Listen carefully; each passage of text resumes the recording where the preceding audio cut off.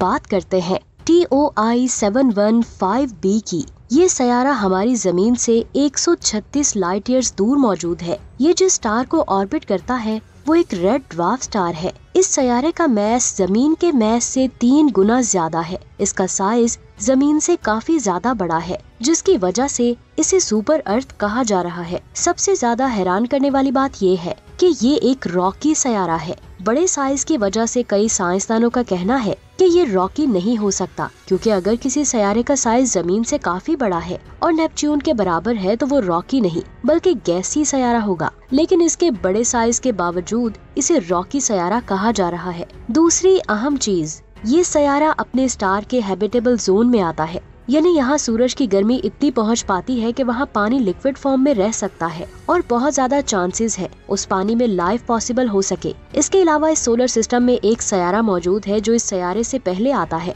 जिसका साइज़ हमारी ज़मीन से सात परसेंट ज़्यादा बड़ा है। अगर मैं बात करूँ T O I seven one five B की तो साइंसदानों का कहना है कि इसका एटमॉस्फेयर भी ज़मीन जैसा है। यानी वहाँ बहुत सारी चीज़ें हमारी ज़मीन जैसी है। और साइज़ में बड़ा होने की वजह से साइंसदान इसे सुपर अर्थ कह रहे हैं। इस सयारे को ट्रांजिशन मेथड के ज़रिए 2023 में फाइंड किया गया और ये अपने स्टार के गिर्द अपना एक चक्कर 19.3 डेज़ में कंप्लीट करता है। ये ऐसा सयारा है, जिसका साइज़ तो बहुत बड़ा है, लेकिन वो रॉकी भी है और इस पर पानी के समंदर भी मौजूद होने के चांसेस लग रहे हैं और हो सकता है उस सयारे पर लाइफ भी मौजूद हो।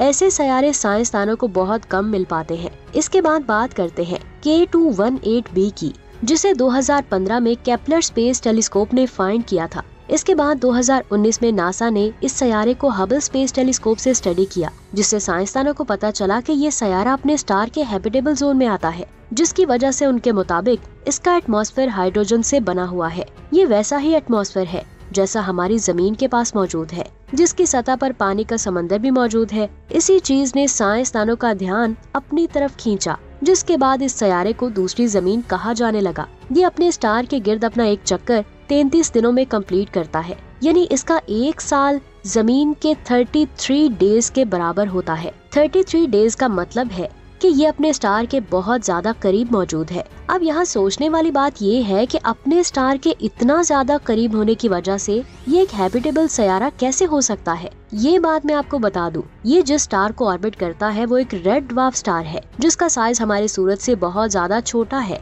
इसका टेम्परेचर भी हमारे सूरज से काफ़ी कम है, जिसकी वजह से इसका हैबिटेबल जोन इसके बहुत ज़्यादा करीब मौजूद है। इसलिए ये सयारा अपने स्टार के बहुत ज़्यादा करीब होने के बावजूद भी अपने स्टार के हैबिटेबल जोन में मौजूद है। इसे अपने स्टार से उतनी ही रोशनी मिल पाती है जितनी रोशनी ज़मीन को सूरज से मिलती है। यहाँ पर डेंस एटमॉस्फेयर पानी और हैबिटेबल जोन को देखते हुए साइंसदानों को लगता है कि यहाँ लाइफ पॉसिबल हो सकती है। ये साइंसदानों का एक अंदाज़ा है कि उस सयारे पर इन चीज़ों की वजह से लाइफ पॉसिबल हो सकती है। तो मैं आपको बता दूँ साइंसदानों ने कहा है कि उनको K two one eight B पर लाइफ का सबूत मिल चुका है।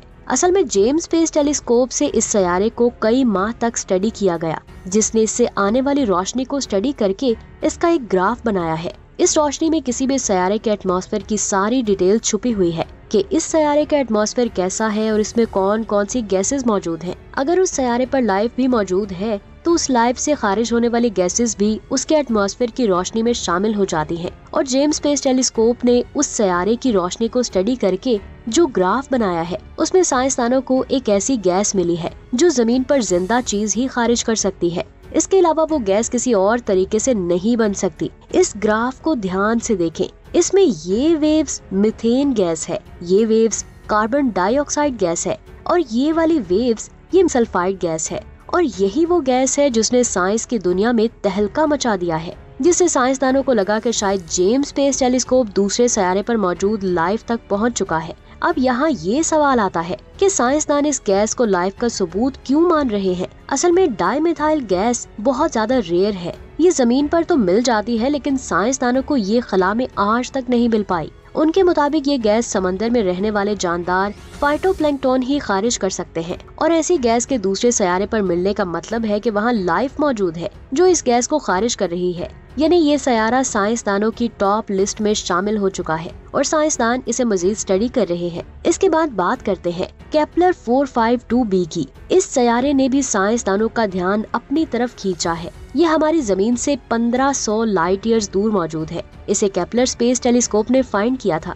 ये सयारा भी अपने स्टार के हैबिटेबल जोन में आता है। अगर मैं बात करूँ इसके साइज़ की तो इसका साइज़ हमारी ज़मीन के साइज़ से 60 परसेंट ज़्यादा बड़ा है। हैबिटेबल जोन में होने की वजह से इस पर पानी की मौजूदगी के बहुत ज़्यादा चांसेस हैं। इसके अलावा ये सयारा जिस स्टार को ऑर्बिट करता है, वो हमारे सूरज की तरह एक जी टाइप स्टार है। इसका ऑर्बिट हमारी ज़मीन के ऑर्बिट से सिर्फ़ पाँच परसेंट ही ज़्यादा है। यानी हमारी ज़मीन सूरज के गिर्द अपना एक चक्कर तीन सौ पैंसठ दिनों में कंप्लीट करती है, जबकि ये सयारा अपने स्टार के गिर्द अपना एक चक्कर तीन सौ पचासी दिनों में कंप्लीट करता है। इसके अलावा इसके स्टार की उम्र छह अरब साल है और हमारे सूरज की उम्र चार इशारिया पाँच अरब साल है। यानी इसका स्टार हमारे सूरज से एक इशारिया पाँच अरब साल बड़ा है और इसका साइज़ भी हमारे सूरज से ज़्यादा है।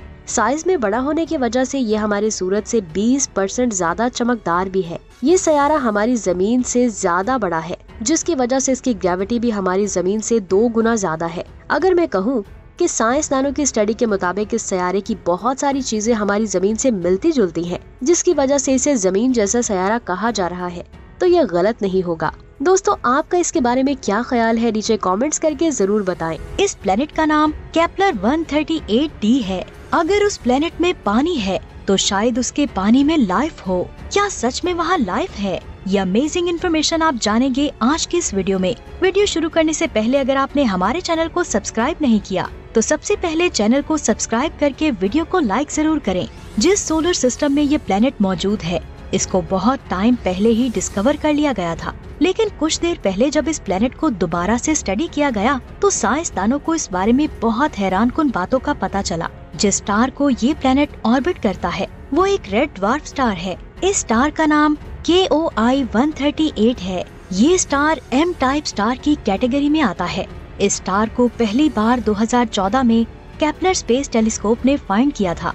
इस स्टार की डिस्कवरी के बाद यहाँ दो प्लैनेट्स को फाइंड किया गया और फिर कुछ सालों बाद यहाँ दो और प्लैनेट्स को फाइंड किया गया। कैप्लर स्पेस टेलीस्कोप को 2009 में लॉन्च किया गया था और 2018 में उसका फ्यूल खत्म हो गया। अपने 9 सालों के अरसे में इस टेलीस्कोप ने 5000 प्लैनेट्स को फाइंड किया। इनमें से कुछ प्लैनेट्स ऐसे थे जैसे हमारे सोलर सिस्टम में मौजूद हैं और कुछ प्लैनेट्स बहुत ज़्यादा मुख्तलिफ़ थे। इनको साइंसदानों ने super earth mini Neptune, Jupiter और ओशन वर्ड्स का नाम दिया है और कुछ प्लैनेट्स ऐसे थे जो अपने स्टार के हैबिटेबल जोन में आते थे और यही वो प्लैनेट्स हैं जिन्होंने साइंटिस्ट का ध्यान अपनी तरफ़ खींचा और इन्हीं प्लैनेट्स पर पानी हो सकता है।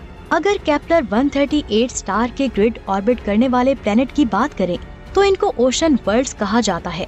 क्योंकि इनमें बहुत बड़े बड़े समंदर मौजूद हैं। दोस्तों, आपका इसके बारे में क्या ख्याल है, नीचे कमेंट्स करके ज़रूर बताएँ और आपको आज की वीडियो कैसी लगी, ये भी नीचे कमेंट्स करके ज़रूर बताएँ। वीडियो अच्छी लगी हो तो इसे लाइक और शेयर ज़रूर करें मिलते हैं नेक्स्ट वीडियो में तब तक के लिए अल्लाह हाफिज